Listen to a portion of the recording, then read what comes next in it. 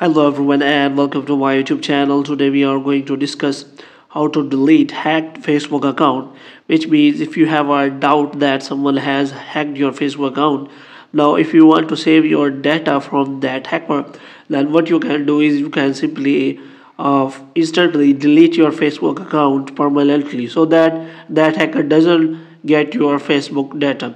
So how you can delete your Facebook hacked account for this what you have to do you have to simply watch this video completely so without wasting any time let's start the video first of all what you have to do you have to simply open the facebook account here and after that what you have to do you have to simply click on facebook profile and here what you have to do you have to simply click on settings and privacy and here you have to click on settings and here you have to look for account center and you have to click on see more in account center and after that what you have to do you have to click on personal details here.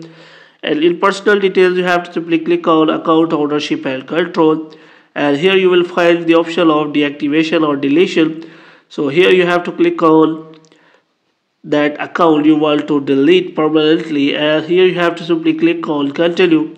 And you have to make sure that your uh, facebook is connected to that profile will also be deleted and here what you have to do you have to simply click on my account was hacked. So here uh, you have to simply select that and you have to click on continue. And after clicking on continue you have to again click on continue.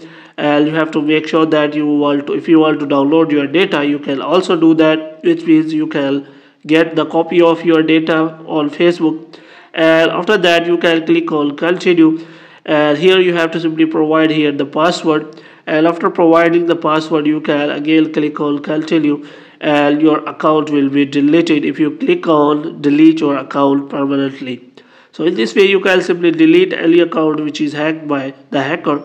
So without wasting any time you have to simply click on delete account and your account will be deleted permanently. Hope you have liked this video. If you get more videos like these you can subscribe our channel